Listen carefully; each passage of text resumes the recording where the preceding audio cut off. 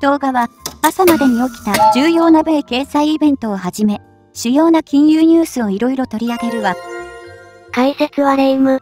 質問などのツッコミはマリサね。引用はニャス姫。10分から12分程度の時間で簡潔にまとめていくわよ。おう、みんな、よろしくだぜ。では、ニャス姫、今回の話題をお願いね。今日は、中国の5月の CPI と PPI を見ていくわよ。マリサ、もう、この略語は分かったかしら？えーと、CPI は消費者物価指数。PPI は生産者物価指数だよな。そうよ。では、違いはわかるかしら ?CPI は消費者側から物価を測る指数で、PPI は生産者の視点で物価を見る指数だよな。そうよ。CPI と PPI はセットで覚えておいて。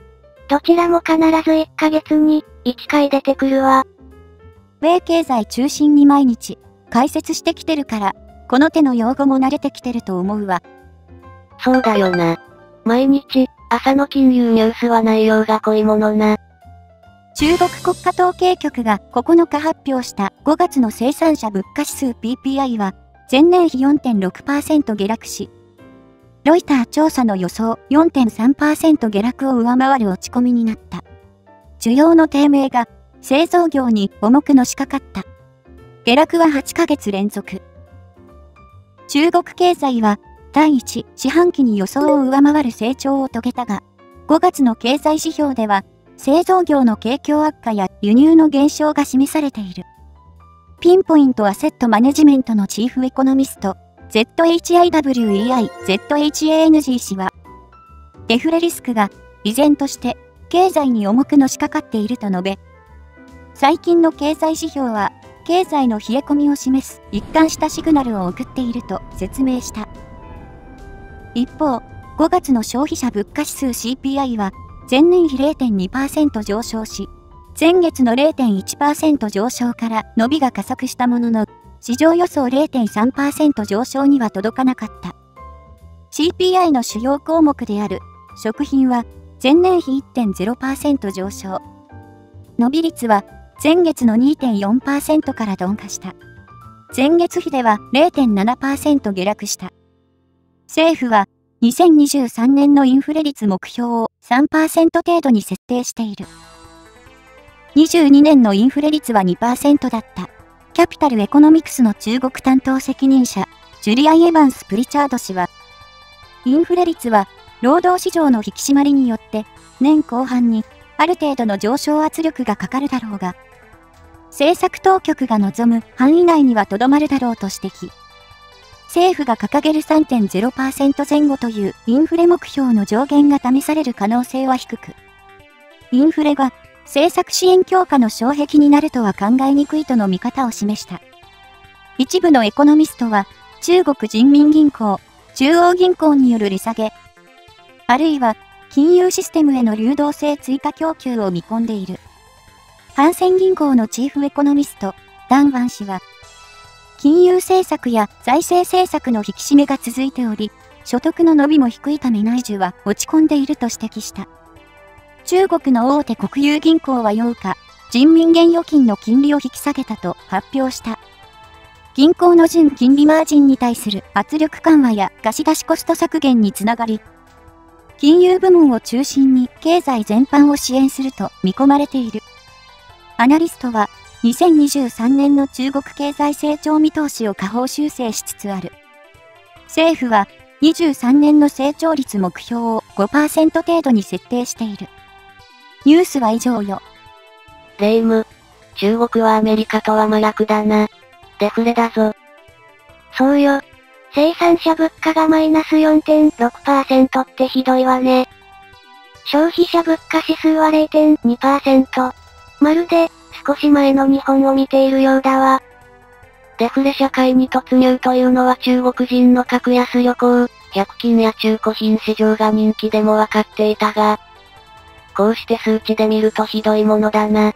政府が金利下げてもこれかよ。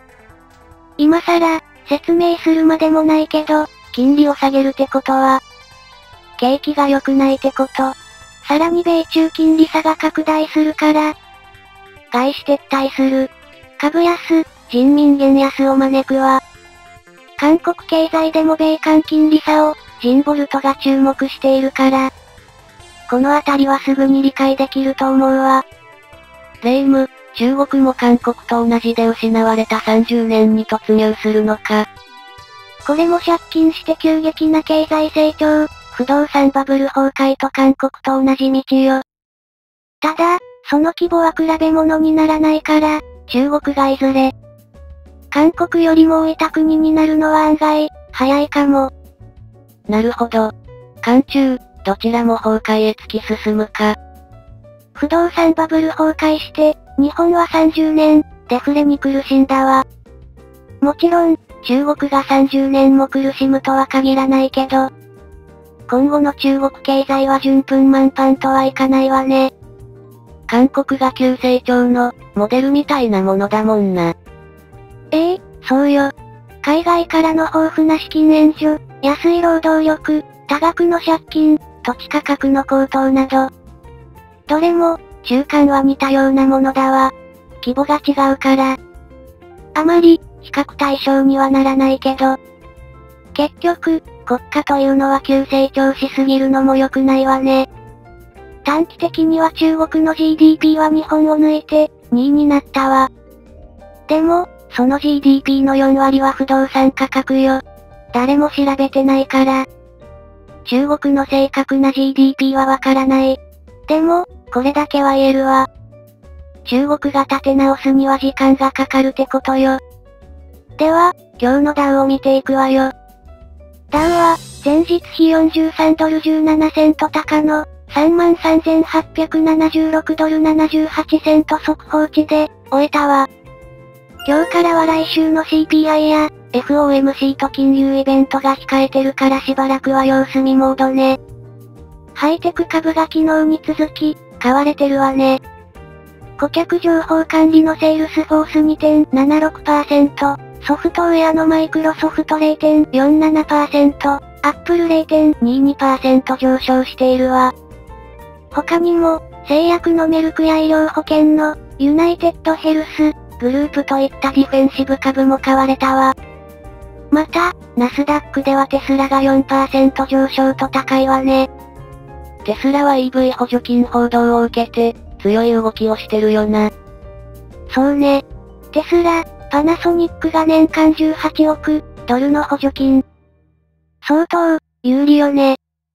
ナスダック総合株価指数は続伸し、前日比20.619ポイント高い13,259.143速報値で、終えたわ。では、今日の注目ニュースを、見ていくわ。韓国株、MSCI 先進国指数の候補に今年もならず。世界の株式のベンチマークとして利用されている MSCI 指数の格付けで、韓国株は今年も先進国指数の候補に採用されませんでした。MSCI 指数はアメリカのモルガン・スタンレー・キャピタル・インターナショナル MSCI が算出し、公表する株価指数で全世界を対象に投資する大型ファンドの主な運用基準として利用されています。先進国指数に採用されると、世界の機関投資家が韓国株を組み入れたファンドを運用するなど、韓国株の需要が高まるとされています。モルガン・スタンレーは、8日、先進国指数への格上げを検討する観察対象国ウォッチリストに韓国株を含めず、引き続き新興国指数として据え置く方針を明らかにしました。モルガン・スタンレーは、韓国株について、去年同様、海外からの投資を難しくしている。外国人投資登録制度や情報公開などの点で、改善が必要だと指摘しています。外国人投資登録制度は、外国人が韓国の上場企業の株式を売買する際、金融当局に個人情報などを事前に登録することを義務付けるもので、韓国政府は今年1月に廃止を決めていますが、実際に廃止されるのは12月になる見込みです。韓国株は1992年に新興国指数に編入され、2008年には先進国指数への格上げの観察対象国になったものの格上げされず、2014年以降は観察対象からも外れています。ニュースは以上ね。韓国政府は空売り禁止したり、官銀ワゴンに大規模介入したりとやりたい放題。とても、こんな状態では韓国株が導入されることはないわ。しかも、韓国全経連、MSCI に韓国の GDP は13位。先進市場候補に挙げるべきとか。随分、上から目線の書簡を出していたわ。決めるのはモルガン・スタンレイなのに。あれだ。韓国産は心理的に MSCI 先進国指数の候補ってことだぜ。そうね。心理的にウォンは基軸通貨だし、心理的に G8 だし、心理的に先進国よね。でも、モルガンはそうは思ってないわ。世界中で K-POP が人気と宣伝しているけど、韓国の地位は、何一つ変わってないわよ。それも、31年前と同じね。失われた30年でも、日本は先進国だけど、韓国は新興国のまま。しかも、これからは落ちていくだけだから。日本は30年、デフレに苦しんだけど、先進国だったわ。韓国産、30年後も存在しているといいよな。ジンボルトの予測では衰退は止まらないから。これからも韓国経済は興味深いわ。まあ、心理的 G8 だし、心配ないわよね。といったところで、今回はおしまい。ご視聴ありがとうございます。次の動画を見てください。チャンネル登録をよろしくだぜ。それでは次回。バイバイ。